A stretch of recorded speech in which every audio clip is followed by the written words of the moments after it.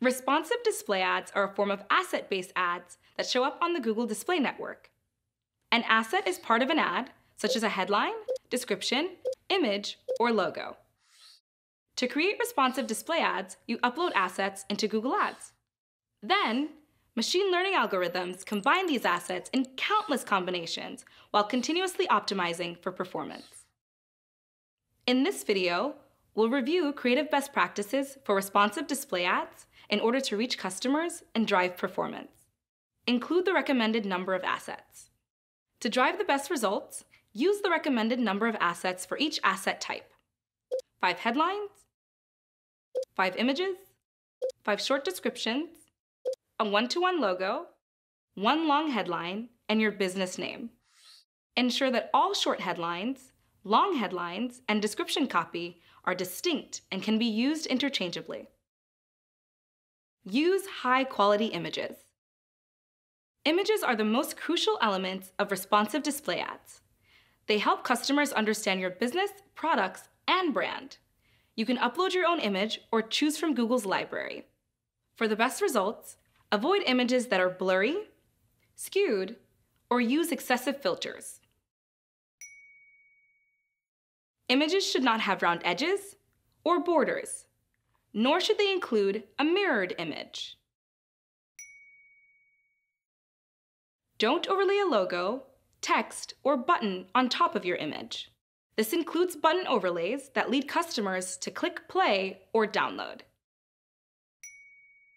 And lastly, avoid displaying products over digital composite backgrounds, including an all-white background. Create unique and effective copy. Your long headline should demonstrate your brand or product's value proposition in a way that's interesting and useful to customers. It should be able to stand alone without the support of a description. Create short headlines that are unique and compelling. It's best to spell out your offer, rather than repeating your business name in the short headline. Descriptions should be written to complement short headlines. Articulate your value proposition clearly rather than writing descriptions that include very little detail on business value. Uploading your logo. Upload your business's logo in both 1 to 1 and 4 to 1 aspect ratios. Ensure your entire logo is centered and not too close to the edge of the image. Avoid adding small text in your logo and don't add additional flair or details that aren't usually a part of it. Transparent logos are preferred, but white backgrounds are also acceptable. Your business name.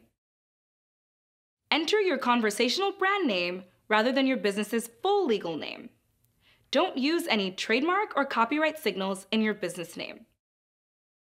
Remember, responsive display ads are only as good as the assets used to create them.